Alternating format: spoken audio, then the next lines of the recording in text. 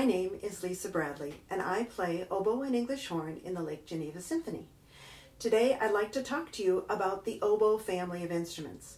The oboe family of instruments has five instruments, just like the flute, the clarinets, and the saxophones, which you're probably most familiar with.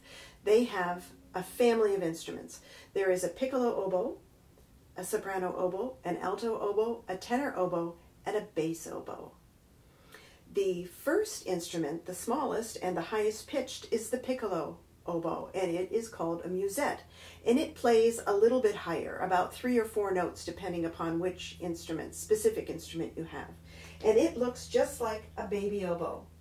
And the musette is about this tall, and it has three parts, a bell, a lower joint, and an upper joint, and a reed that looks like an oboe reed, and goes in the instrument just like an oboe reed, but it's a baby sized, a miniaturized size reed.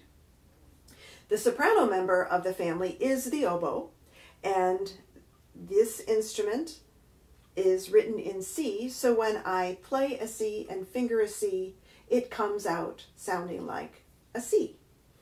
The next instrument in the family is the oboe d'amore, and that's the alto instrument. It looks like a baby English horn, only it's about this big and it has a bocal also. It comes in four parts, the bell, the lower joint, the upper joint, and the bocal. And one of the differences, the bocal fits inside just like the oboe reed does, but the English horn reed fits on top of the bocal. So when I play an instrument, and the English horn is a transposing instrument. So when I play a C, if I finger a C on this, this instrument, it comes out an F. So it's five notes lower than the oboe.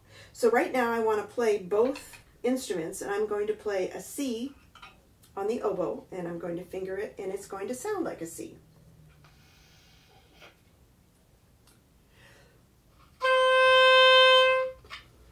Now here's the same fingered note on the English horn.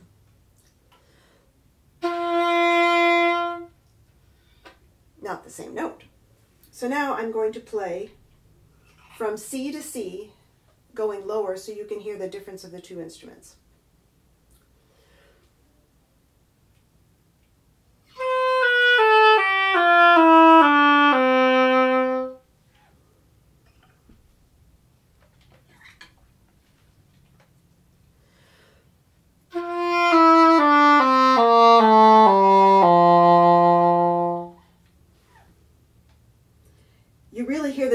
On the very low notes in the English horn.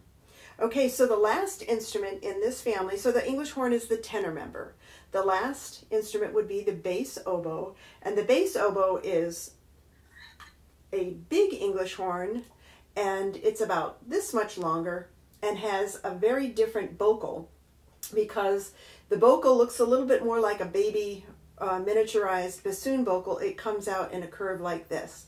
If it had this shaped bocal, you would have to play the instrument like this, and that would be way too awkward. So right now, I would like to play the solo from Dvorak's New World Symphony, the Largo movement, which is a very famous English horn solo. First, I'm going to play it for you on the oboe, which will sound too high and not quite right. And then I'm going to play it for you on the English horn, and you can hear the difference. And there's a little bit of a different sound of the timbre of the instrument in this solo. I hope you enjoy it. Thank you.